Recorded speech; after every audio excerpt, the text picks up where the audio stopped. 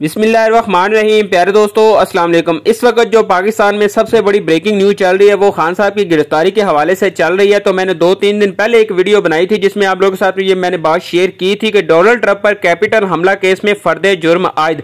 तब मुझे फील हो गया था, मुझे लग रहा था कि ये अगर काम अमेरिका में हो गया है तो पाकिस्तान में भी ये काम लाजमी होगा, क्योंकि ये डोनाल्ड ट्रंप और खान साहब के जो ख्याल है या तरीकाकार, वो मिलता जुलता ही है।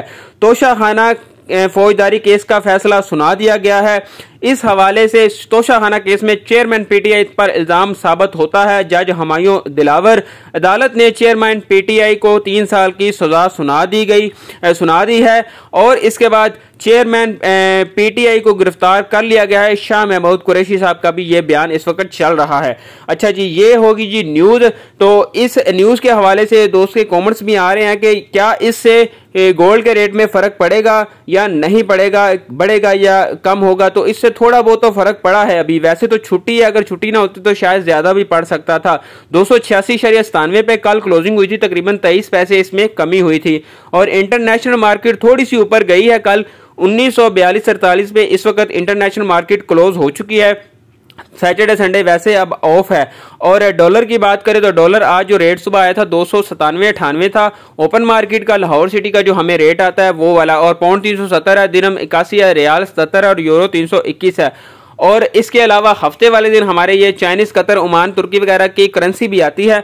हफ़्ते वाले दिन सिर्फ़ आती है तो वो मैं आप लोगों के साथ शेयर कर देता हूँ। अगर किसी को देखना होता तो वो देख ले। और रेट की बात करें तो रेट जो हमें सुबह आया था पीस का दो लाख इक्कीस हज़ार नौ सौ रुपया, पठूर का दो लाख उन्नीस हज़ार बाईस कैरेट, दो लाख चौंतीस सौ और इक्कीस कैरेट, एक लाख चौरानवे हज़ार। और पीस और पठूर में फ़र्क ये होता है कि पीस 24 कैरेट लोकल जो गोल्ड होता है ना, उसको पठूर कहते हैं और जो ए आर वाई वाला प्योर होता है, उसको पीस कहते हैं। ये फ़र्क होता है, अक्सर दोस्त कॉमर्स करके पूछते हैं। सरगोदा सिटी की बात करें तो दो लाख उन्नीस हज़ार रुपया सरगोदा सिटी का रेट है।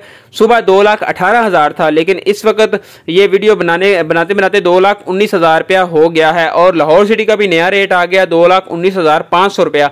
तो ये जो मैंने स्टार्टिंग में बात की थी कि चेयरमैन पीटीआई के गिरफ्तारी से क्या गोल्ड के रेट में फ़र्क पड़ेगा तो तकरीबन पाँच सौ हज़ार का तो फ़र्क आज पड़ा है। कल की नस्बत तकरीबन पाँच सौ हज़ार आज इसमें इजाफा हुआ है और कल वैसे भी थोड़ी सी इंटरनेशनल मार्केट ऊपर चली गई थी और बाकी सेलिंग परचेजिंग के हवाले से यही कहूँगा कि अगर यहाँ पे आप लोग परचेज़ करते हैं तो मेरे हिसाब से थोड़ा सा रेट आज ज़्यादा है।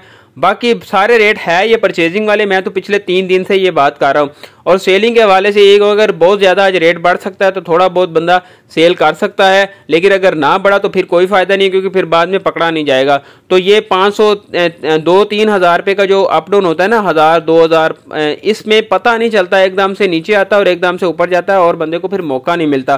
तो बेहतर ये है कि जिसके पास है वो अपना, बाकी अपना अपना हिसाब देख लें आप, मैं किसी को मशवरा नहीं देगा।